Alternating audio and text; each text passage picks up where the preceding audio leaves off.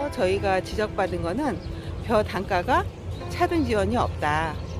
타 특등, 다 1등. 안녕하세요 여러분. 북정리 쌀방앗간 큰며느리입니다. 오늘은 여기 아침 출근길을 알프시 뒷길로 해봅니다. 지금 이제 꽃들이 한참 피고 있고 요번 식목일날 또 나무도 심어서 이렇게 이쁘게 꾸며놨네요. 한참이에요. 야 여기가 또 멋진 명소가 되겠는데요. 독정 알프시에. 음, 여기 끝에도 양쪽에 사는구나. 포크레인 두 대가 양쪽에 사네요. 오, 이거 큰 작업인데? 커피라도 좀 타다 드려야겠어요. 음, 그동안 여러 이제 연말 정산하고 뭐 하느라고 무척 바빴거든요. 그래서인지 주변에 이렇게 꽃이 많이 핀 것도 못 봤어요. 어느 날 좀 마음 좀 이렇게 돌려서 보니까 이렇게 꽃이 이쁘게 펴 있는지를 늦게 알았지 뭐예요. 아 진짜 지금 주변에 참새들이 얼마나 짹짹거리는지 들리시나요?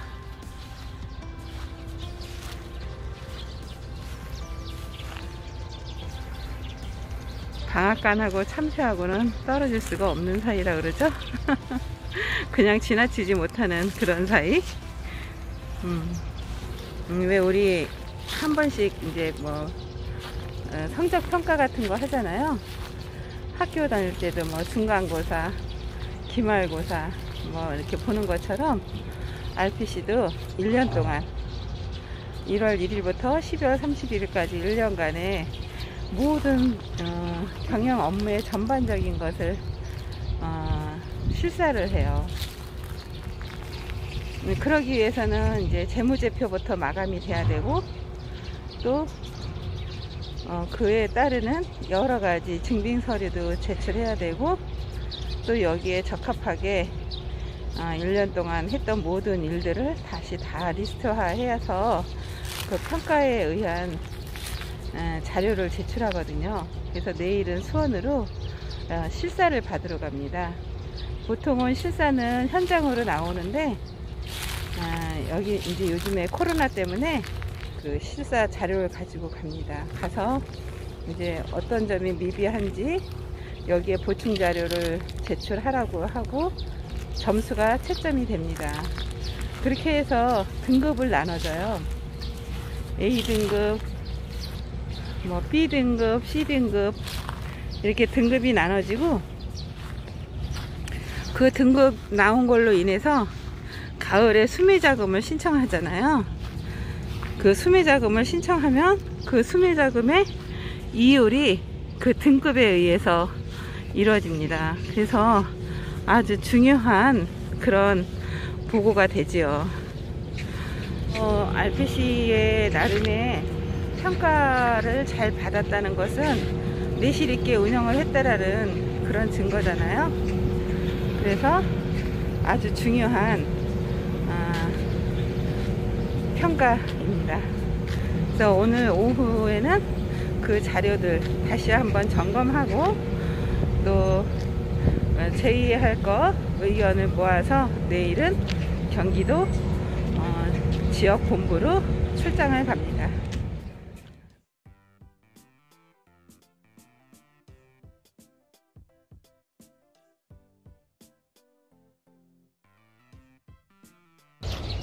오늘은 하늘도 무척 파랗나요. 어제 비가 오더니 아주 참새 소리도 맑은 것 같아요. 지난번에 제가 그 경영평가 갔다 온다고 했죠. 장부를 완전히 cross check에 막 진짜 감사 아닌 감사를 받고 왔습니다. 올해 기여도 평가의 특이점은요. 작년에 워낙 비가 많이 왔어요. 어, 비가 온 시간이 길어서 어, 이 적산 온도라 그러죠. 이 식물이 볕을 받고 자라는 그 합적인 그 빛의 양을 적산 온도라고 하는데요. 그 적산 온도의 양이 부족했어요. 그래서 벼가 여몸이 좀 덜하고 수확량이 특히 수확량이 많이 줄었거든요. 저희 같은 경우도 19년도 대비 한 20년도 벼 매입량이 1000톤 정도가 좀 줄었거든요. 평가는 그 계약 재배 쪽에 그 점수가 높아요. 왜냐면은 어, 이 RPC들이 그 농가의 벼를 많이 매입하기를 나라에서는 원하잖아요. 그래서 벼를 많이 매입을 해야 하는데 중점이 더 있기 때문에 점수가 높은데 또 여기에 따르는 부가적인 그 계약 재배의 준수 사항들이 있어요. 그러니까 계약 재배 양이 줄다 보니까 매입량도 줄고 또 출하량도 줄고 또 거기에 따르는 어떤 지원이나 그런 사업들도 줄고 하다 보니까 계약 재배에 해당하는 그런 점수 평가가 많이 낮아지더라고요. 그게 좀 특이점이었고요. 또 어, 단가 단가가 작년에는 그 벼 매입이 줄은 반면에 그 단가가 아주 높았어요. 그리고 그 햇벼가 들어온 시기에 그 벼 재고가 별로 없었거든요. 그러다 보니까 어, 햇벼의 단가도 비쌌고 여러분도 아시겠지만 올해 쌀값이 엄청 비싸잖아요. 저도 방앗간 며느리 생활 어, 30년이 넘도록 이렇게 벼값이 높은 적은 처음이었던 것 같아요. 그래서 저희 지인 중에 한 분은 우스갯소리로 어, 벼값을 잘못 보냈다고 저한테 전화가 온 거예요. 아, 벼를 배보니까 양도 줄었는데 왜 돈이 이렇게 많이 들어왔냐고 벼값 잘못 보낸 거 아니냐고 그러면서 전화가 왔더라고요. 그렇게 할 정도로 농가에서는 수확량은 줄었어도 벼값이 많이 어, 인상이 돼서 그나마 어, 농사 짓는 분들은 괜찮았어요. 어, 수매할 때 벼 등급에 의해서 차등 지급을 하는 그런 조항이 있는데 이건 차등 지급할 것이 아니에요. 우선은 벼를 매입하는 게 우선이었기 때문에 벼 매입하는 데에 중점을 두다 보니까 그래서 저희가 지적받은 거는 벼 단가가 차등 지원이 없다. 다 특등, 다 1등. 다 특등에 다 1등이거든요. 물론 벼도 좋았고요. 음, 벼가 좋았다는 거는 어, 이제 처음에 그 조생종이나 중생종 같은 경우는 그 날씨의 영향을 많이 받았었는데 어, 그맨 마지막에 들어오는 품종들 만생종들은 벼 이삭 여몸이 또 좋았어요. 왜냐면 그 적산 온도도 많이 늘어나고 또 햇볕을 늦게까지 보니까 여몸이 좋았던 거죠. 왜 뭐 하루볕 차이가 어디냐 그 말이 벼에도 벼에 해당하는 말인 것 같아요. 그렇게 해서 경영평가 점수에서는 작년 대비 한 5점 정도가 5점 음, 그 정도가 좀 이렇게 많이 떨어졌어요.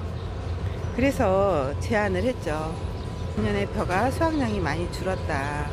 이거는 우리가 계약 재배를 안 한 것도 아니고 계약 재배를 많이 했고 했는 반면에 수확량이 줄었기 때문에 계약 재배한 양도 어쩔 수 없이 주는 거고 줄게 되었고 또 이에 따르는 재반 어떤 상황들이 많이 줄었기 때문에 그런 것이다. 나라에서 평가는 어 뭐 10년 전이나 지금이나 평가 기준은 같기 때문에 우리가 점수가 이렇게 떨어질 수밖에 없는데 이에 대한 보완책이 좀 있어야 되지 않겠느냐 그런 이야기를 했어요. 왜냐면은 이 등급 그 점수 등급에 의해서 가을에 저 수매 자금의 이율이 정해지기 때문에 어, 이런 거에 큰 타격을 받거든요. 그래서 등급에 해당하는 점수를 좀 낮춰줘야 되지 않겠냐 그런 제안을 했습니다. 한 1시간 정도의 그 실사를 받고 나오는데 다리가 후들들 하더라고요. 그리고 막상 이렇게 실사를 받다 보니까 이렇게 미흡한 점이 많이 발견이 되더라고요. 아, 이래서 한번 또 이렇게 경영평가를 받는 것도 좋은 것 같아요. 왜냐면은, 어, 나의 그 미흡한 점들을 많이 이렇게 발견하게 되고요. 또 다른 곳에 어, 이런 장부는 어떻게 운영이 되고 있는지도 알게 되고.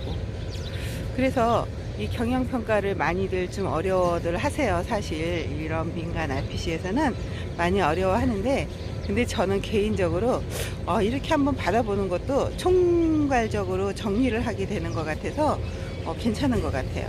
저는 되게 좀 좋게 생각을 하고 있어요 이제 이렇게 경영평가도 끝나고 이제 저의 업무는 어느 정도 지금 4월이잖아요. 이제, 이제 좀 굵직한 일들은 좀 어느 정도 어, 했고요. 이제는 또 새로운 또 여러 가지 잡무가 있지만 일을 하는데 아 너무 긴장을 했던 것인지 좀 쉼이 필요한 것 같아요. 그래서 그리고 지금 보면은 뭐 농사가 이제 본격적으로 시작이거든요. 우리 시동생이 이제 또 농사를 본격적으로 짓기 위해서 모판 상자를 다 내놨네요. 이게 그 벽시 담는 상자인데요. 여기에 이제 그 벽시를 담아서 또 육묘를 해서 또 뭐를 심어야겠죠. 아 이게 몇만 장일 이게 얼마나 될까? 엄청 많네요. 이제 시골에서는 본격적인 농사가 시작이 되었습니다. 우리의 먹거리, 우리의 아주 중요한 먹거리 쌀이죠. 뭐 쌀이 뭐, 뭐 탄수화물이 많아서 살이 찐다 어쩐다고 하잖아요. 근데요, 쌀 빼고 다른 거 아무리 드셔보세요. 그 충당할 수 없는 그 공허함이 있답니다. 쌀방앗간 며느리의 이, 이, 이만의 얘기일까요? 여러분도 공감하지 않으시나요? 우리 남편은요, 김밥을 먹고도 흰밥을 드셔야 하는 그런 분입니다. 김밥은 간식일 뿐이다. 명언 아닌가요? 방앗간 사장님의 명언. 김밥은 간식일 뿐이다. 여러분 즐거운 하루 되세요.